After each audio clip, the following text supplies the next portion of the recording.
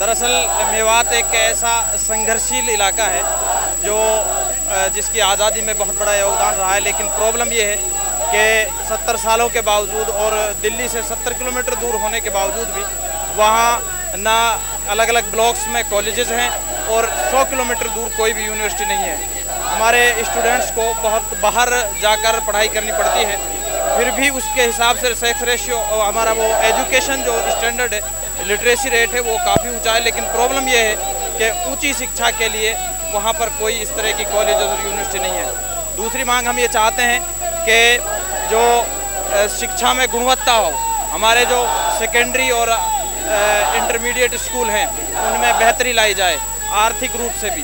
तीसरी हमारी मांग ये है कि वो स्टूडेंट्स जो मदारी से फारिग हैं, उनको जामिया इस्लामिया और अलीगढ़ मुस्लिम यूनिवर्सिटी की तर्ज पर उनको उस विश्वविद्यालयों में एडमिशन देने का प्रावधान हो ताकि मेवात एक बेहतर फ्यूचर की तरफ़ कदम बढ़ा सके। आपने बोला है कि मेवात एक ऐसा शहर है जो संघर्षशील है। तो क्या का संघर्ष कर रहा है? वो संघर्ष था आज भी मतलब बड़े निडर और बहादुर और बाहिमत लोग हैं। लेकिन शिक्षा में सही उनको डायरेक्शन और सही माहौल नहीं मिलने की वजह से जिसमें सरकार का हमेशा से बहुत दोगला रवैया रहा है उस रवैये को ख़त्म करने के लिए बस उसकी वजह से हम शिक्षा में थोड़ा सा आ, हमारा स्टैंडर्ड गिरा है। क्या आपने हरियाणा सरकार से इस तरीके की कोई बात रखी कि भाई जो इतना पिछड़ा इलाका है इसका सुधार किया जाए? जी हाँ आपसे एक साल पहले हम यहीं पर आए थे। उस वक्त भी अपनी डिमांड रखी थी और आश्वासन दिया गया लेकिन अभी तक आश्वासन हमारा धरा का वहीं का वहीं रखा है। तो आपने ये हरियाणा भवन को क्यों चुना है? आप यूपी मतलब हरियाणा के जो मुख्यमंत्री हैं, उनका घेराव करना चाहिए था, उनसे जो शिक्षा मंत्री है, उससे अपनी अपील करनी चाहिए थी। तो आपने दिल्ली में या हरियाणा भवन को क्यों चुना? दरअसल हम स्टेप बाय स्टेप चल रहे हैं। हमने इलाका मेवात में कॉर्नर मीटिंग करके हमने मेमोरेंडम वहाँ पर भी दिए। उसके बाद सही बात यह है कि अगर हमें मांगे मनवानी है तो मांगे मनवाने का एक तरीका ये है कि हम जो मांगे मानता हो, उस घर पर दस्तक दी जाए। दूसरी बात यह है कि चंडीगढ़ हमसे ज़्यादा दूर पड़ता है एज़ कंपेयर टू दिल्ली। और तीसरी बात यह है कि यहाँ पे मीडिया कवरेज ज़्यादा मिलता है और हम उम्मीद करते हैं कि पूरा सेंटर इसे पूरा सेंटर पूरा भारत नेशन इसे कवर करेगा। क्या नाम है आपका? मेरा नाम जावेद जावेद जी आप मैं दिल्ली से आया हूँ अबुल फजल से। और मैं इस आंदोलन के साथ जुड़ा हुआ हूँ क्योंकि जो है जो मेवात का इलाका है ये भारत के सबसे पिछड़े शैक्षिक इलाकों में से एक है। और इसकी जो डेवलपमेंट एजुकेशन डेवलपमेंट बहुत ज़रूरी है। और उनकी जो मांगे हैं वो बिल्कुल जायज़ है तो मैं इस आंदोलन के साथ जुड़ा हुआ हूँ। और ये चाहता हूँ जो शिक्षा का जो ये स्ट्रगल है संघर्ष है उसमें हम लोग इनके साथ दे सकें ताकि जो है ना एक बेहतर मेवात बनाने में हम लोगों को मदद मिल सके। तो सरकार क्या कह रही है? हरियाणा सरकार क्या कह रही है शिक्षा को लेकर हरियाणा सरकार की जो नीति है वो असल में ऐसी नीतियाँ हैं कि जो जो पिछड़े हुए और अल्पसंख्यक समाज उनके खिलाफ हैं। क्योंकि हम लोग कई बार कोशिश कर चुके हैं ना तो उन्होंने मिलने का टाइम दिया है ना ही अभी तक कोई ऐसी घोषणा करी है कि जिससे ये पता लगता हो कि वो मेवात की शिक्षा को लेकर सीरियस हैं। तो हम लोग ये चाहते हैं कि एक तो वो फ़ौरन एक तो मिलने का हमें टाइम दें। दूसरा जो हमारी मांग है यूनिवर्सिटी बनाने की कॉलेज बनाने की, उसको पूरी तरीके से एकदम माने और उसके ऊपर काम शुरू करें। क्योंकि ये अफसोस की बात है कि एक तरफ़ तो जो है नोएडा और गुड़गांव जो दिल्ली सटे हुए इलाके हैं, जो भारत के सबसे विकसित इलाकों में कहलाते हैं, उससे जुड़ा हुआ बिल्कुल करीबी एरिया आप सबसे पिछड़ा हुआ इलाका करते हैं। तो ये तो सरकार की नीतियों से ही पॉसिबल है। ये इत्तेफाक की बात नहीं है। ये कोई अजीब सी बात नहीं है। बल्कि आपने जानबूझकर एक समाज को एक खास इलाके को पिछड़ा रखा है और आपकी नीयत जो है ना यही है। तो हम ये चाहते हैं कि आप उसमें ये सबूत दें कि आपकी नीयत ऐसी नहीं है जानबूझ कर आपने नहीं किया है और फ़ौरन आप एक यूनिवर्सिटी की घोषणा करें। क्या जावेद जी आपको लगता है कि जो शिक्षा का स्तर पहले बेहतर था या ये चार सालों देखिए जितनी तेज़ी से फंड घटे हैं ये यूनिवर्सिटीज़ कॉलेजेस के हालात आप देख लीजिए। जिस तरह से रिसर्च के मामले में फ़ंड घटाए गए हैं इवन के बड़ी बड़ी यूनिवर्सिटीज़ में तनख्वाहों को लेकर भी प्रॉब्लम हो रही है। इससे पता लगता है कि शिक्षा सरकार की प्रायोरिटी में शामिल नहीं है। ठीक है? तो एक तरफ़ तो भारत, हमारी सरकार जो ये कहती है, हम जो है विश्व पावर बनने जा रहे हैं, यानी कि सुपर पावर बनना चाहते हैं। तो इतनी लेस एजुकेशन के साथ आप शिक्षा में बजट घटाकर कोई भी अगर सुपर पावर बना है तो वो अपनी शिक्षा के ज़रिए बना है चाइना का भी डेवलपमेंट है, अमेरिका का डेवलपमेंट है। अगर आप इस तरह से समाज पिछड़े हुए रहेंगे पूरी पूरी आबादी, आप इसका अंदाज़ा लगाइए कि ये जो आपका नू का जो इलाका है, ये मेवात का इलाका, तीस परसेंट साक्षरता है महिलाओं में। तीस परसेंट, यानी कि सत्तर परसेंट औरतें बिल्कुल ही अशिक्षित हैं इलिटरेट हैं। और साक्षरता की हमारे डेफिनेशन ये जो अपना नाम पढ़ सकती हो, लिख सकती हो, यानी कि अगर महिलाओं में सही से अगर शिक्षा ढूंढेंगे तो पाँच या दस परसेंट भी नहीं मिलेगी। तो जब ये सूरत हाल होगी तो हम अपना दुनिया में क्या मुकाम बना सकते हैं? ठीक है, अंबानी की इनकम बहुत बढ़ गई है, अडानी की इनकम भी बहुत बढ़ गई है, और रिलायंस को भी बहुत मुनाफा हो गया है, लेकिन इसका फ़ायदा तो एक परसेंट लोगों को मिलना है। अस्सी परसेंट, सत्तर परसेंट लोगों को रोज़मर्रा की ज़िंदगी में जो है जा रहे हैं। तो हमारी डिमांड यही है कि नूह और जो ये इसका हमारा जो मेवात का इलाका है, इसमें जो शिक्षा को जो है बढ़ावा दिया जाए और हमारी मांगों को पूरा किया जाए।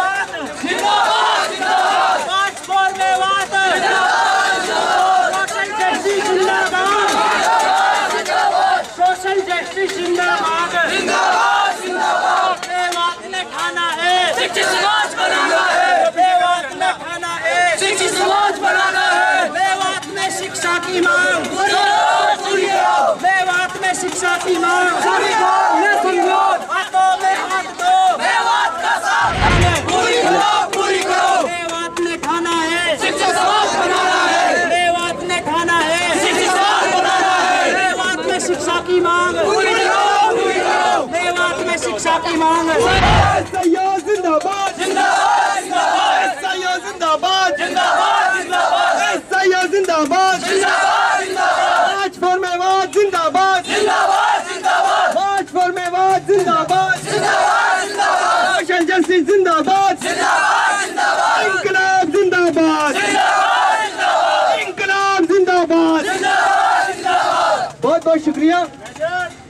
मार्च फॉर मेवात के अनुमान से एसआईओ ऑफ़ इंडिया हरियाणा भवन पर मेवात में शिक्षा के पिछड़ेपन को दूर करने की मांग को लेकर प्रदर्शन कर रही है। और इसी प्रदर्शन की को पुरजोर बनाने के लिए मेवात और जगह जगह से हमारे दोस्त यहाँ पर आए हुए हैं और भरपूर प्रदर्शन कर रहे हैं। ये प्रदर्शन किस लिए है? और इसकी मांगे क्या क्या है, इस पर हमारे बीच मुख्तलिफ़ लोग बात रखेंगे। हमारी मांगे यूनिवर्सिटी लेकर रहेंगे। यूनिवर्सिटी लेकर रहेंगे। दोस्तों, जैसे कि आप जानते हैं, मैं जिस शहर में खड़ा होकर आपसे बात कर रहा हूँ, वो भारत की राजधानी है। भारत की राजधानी दिल्ली। जैसे कि आप लोग जानते हैं कि भारत हमारा देश इस वक्त दुनिया का सबसे उभरता हुआ देश है। पिछले पंद्रह सालों से आप लोग पढ़ते रहे होंगे कि भारत ने कितनी तरक्की की है। आप लोग ये भी देखते रहे होंगे, आप लोगों ने पढ़ा होगा कि कितनी तेज़ी के साथ हमारे यहाँ गुड़गांव जैसा शहर वजूद में आया, जिसमें दुनिया भर की मल्टीनेशनल कंपनीज़ बड़ी बड़ी कंपनीज़ अपने ऑफ़िस बनाती हैं। यानी कि फॉर्चून 500 जो एक टैग है दुनिया की सबसे तरक्की याफ्ता कंपनियों का, उसके सैकड़ों ऑफ़िस गुड़गांव में मौजूद हैं। आप ये भी देखते होंगे दिल्ली से सटा हुआ एक इलाका नोएडा, जो कि 15-20 साल पहले एक बहुत ही बंजर और पिछड़ा हुआ गाँव हुआ करता था, सरकार की पॉलिसीज़ की वजह से इस वक्त हिंदुस्तान का, भारत का और उत्तर प्रदेश का सबसे तरक्की करने वाला शहर बन गया है। आखिरकार क्या वजह है? आखिरकार क्या वजह है कि जिस तरीके से दिल्ली से सटा हुआ इलाका गुड़गांव, दिल्ली से सटा हुआ इलाका नोएडा इतनी तरक्की करके विश्व पटल पर दुनिया में के नक्शे पर अपना नाम बना सकता है। आखिरकार उससे सटा हुआ एक दूसरा इलाका, जिसको हम मेवात कहते हैं, वो दुनिया, हिंदुस्तान का सबसे पिछड़ा हुआ इलाका कैसे रह सकता है? ये बड़े अफसोस की बात है।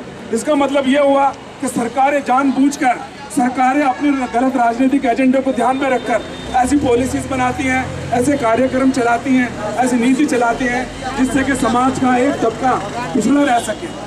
और अगर ये ध्यान रखें, अगर कोई समाज इतना पिछड़ा हुआ होगा, वो कितना पिछड़ा हुआ है मेवात आप इसका अंदाज़ा लगा लीजिए। जो सेंसस सर्वे है, उससे पता लगता है कि 30 परसेंट औरतों में साक्षरता है। यानी कि महिलाओं का जो साक्षरता का स्तर है, सिर्फ़ 30 परसेंट है। 30 परसेंट साक्षरता का मतलब आप ये समझ, साक्षरता किसे कहते हैं? जो औरत या मर्द अपना नाम पढ़ना, लिखना जानता हो, उसको साक्षर कहते हैं। यानी कि बुनियादी तौर से आप ये देखें तो अस्सी नब्बे प्रतिशत हमारी औरतें मेवात की अनपढ़ है, वो क्यों है? ऐसे ही बहुत बड़े लेवल के ऊपर वहाँ हमारे पास जो युवा हैं, वो बेरोजगार हैं। जिसकी वजह से वहाँ बहुत सारी सामाजिक समस्याएँ भी हैं। बेरोजगारी जहाँ होगी अशिक्षा जहाँ पर होगी तो वहाँ पर कानून की स्थिति भी आप यह ध्यान रखिए, वो अच्छी नहीं रहेगी। इसका मतलब ये हुआ कि जानबूझकर ऐसी पॉलिसी अपनाई जा रही है कि जिसकी वजह से मेवात को पिछड़ा रखा जा रहा है। वरना ये पॉसिबल नहीं है कि जहाँ पर इतने बड़े बड़े शहर वजूद में आ रहे हों। तो ये जो एस आई ऑफ़ इंडिया है ये पिछले 25-30 साल से पूरे हिंदुस्तान में जो काम कर रही है, वो ये कर रही है। एक तो शिक्षा का मैार, यानी कि शिक्षा का जो स्तर है उसको सुधारा जाए, जहाँ उसके साथ साथ ये भी है कि जो समाज के पिछड़े हुए इलाके हैं, चाहे वो आदिवासी हों, चाहे अल्पसंख्यक हो चाहे वो दूसरे कोई भी हो, वहाँ पर शिक्षा की बेहतर फैसिलिटीज़ को जो है प्रोवाइड कराया जाए।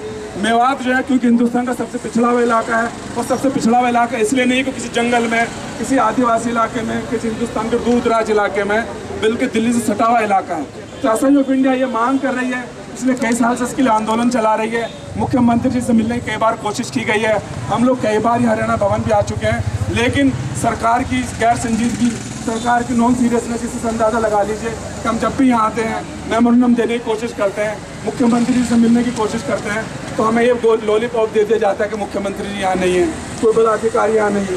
वो तो चंडीगढ़ में मिलेंगे। और जैसे वो आएँगे, हम आपको मिलने के लिए बुला लेंगे। लेकिन आज तक हमें ना तो को मिलने का टाइम मिला है, ना ही इसके ऊपर कोई वादा किया गया है, ना ही ऐसी कोई बात हो गई है। पिछली बार जब चुनाव हो रहे थे तो मुख्यमंत्री जी मेवात आए थे, क्योंकि मेवात दस लाख की आबादी है। वहाँ अच्छा खासा वोट बैंक है। उसकी कोई दूसरे इम्प्लीकेशन भी होते हैं इलेक्शन में। तो जब हमसे बात की गई तो उन्होंने कहा कि आप जो लोग यहाँ के युवा पढ़ना चाहते हैं, वो गुड़गांव क्यों नहीं चले जाते? ये तो वही बात हो गई। जैसे ये बात कहते हैं जो ये काम करना चाहिए वो पाकिस्तान क्यों नहीं चले जाते? कोई कहता अमेरिका क्यों नहीं चले जाते? यानी कि आप अपनी समस्याओं को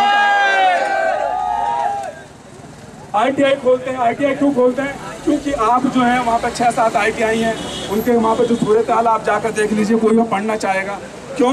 क्योंकि वहाँ पे स्कूली शिक्षा आप नहीं देंगे। सातवीं आठवीं पास करने के बाद कोई आदमी फिटर बन जाएगा कोई वेल्टर बन जाएगा कोई मैकेनिक बन जाएगा और आप इसी में खुश रहते हैं। तो हमारी डिमांड ये है इस प्रदर्शन के ज़रिए, और हम जब तक ये जारी रखेंगे, चाहे कितना ही लंबा चले, कितने लंबा चले, आप ये ध्यान रखिए, इतनी आसानी से नहीं मिलता है, ये सारी की सारी चीज़ें। हम जब तक ये यूनिवर्सिटी नहीं मिल जाएगी, जब तक कॉलेज नहीं मिल जाएगा, जब तक सरकार एक कॉम्प्रिहेंसिव प्रोग्राम वहाँ के नू के और जो है, मेवात के लिए उसकी घोषणा नहीं करती है तो हम अभी तो यह कुछ युवाओं को लेकर आए हैं अगली बार इंशाल्लाह हम इससे बड़ा आंदोलन करेंगे। इसमें महिलाओं को भी साथ लाएँगे। समाज के जितने पिछड़े और हमारे हमदर्द लोग हो सकते होंगे, लेकिन सरकार को अब अपनी नींद से उठना होगा, सरकार को जागना होगा, वरना हम उनको चैन से नहीं बैठने देंगे। और हम अपनी मांग को जो हमें संविधान ने दी है कि हम पीसफुल तरीके से अपनी डिमांड रखें और अपनी मांगों को रखें, हम उसके लिए संघर्ष करते रहेंगे। और मुझे उम्मीद है कि सरकार भी इसको सुनेगी, क्योंकि जो सरकार, जो जो मुल्क इस बात का एस्पिरेशन रखता हो, वो दुनिया की सुपर पावर बनना चाहता है। अगर उसकी एक इतनी बड़ी आबादी जान बूझ कर शिक्षा से दूर रखी जाती है, तरक्की से दूर रखी जाती है तो ठीक है, अंबानी, अडानी की उसमें इनकम में इजाफा हो जाएगा। ठीक है, हज़ारों करोड़ रुपये की शादियाँ हो जाएँगी। एक परसेंट आबादी हिंदुस्तान की सत्तर, सतहत्तर परसेंट या अस्सी परसेंट दौलत पर हावी हो जाएगी। लेकिन एक बहुत बड़ा तबका जो गरीब रहेगा जो जो पिछड़ा हुआ रहेगा, आप उससे हमारा मुल्क तरक्की नहीं कर सकेगा। मुझे उम्मीद है कि हम इस आंदोलन को आगे ले जाएँगे और जब तक अपनी मांग को जिस तरह का हमने अपनी मुर्शिदाबाद में मंगवाई, मनवाई जिस तरह से हमने और बहुत सारे सफल आंदोलन चलाए हैं, हम इसके ज़रिए भी अपनी मांगों को पूरा करने में कामयाब होंगे। और आपके स्ट्रगल को मैं सलाम करता हूँ कि इतनी गर्मी में, इतनी दूर से आकर आपने हरियाणा भवन में हरियाणा सरकार को दोबारा से जगाने का काम किया है। और मुझे उम्मीद है कि हम लोग एक दिन सफल होंगे। बहुत बहुत शुक्रिया, धन्यवाद।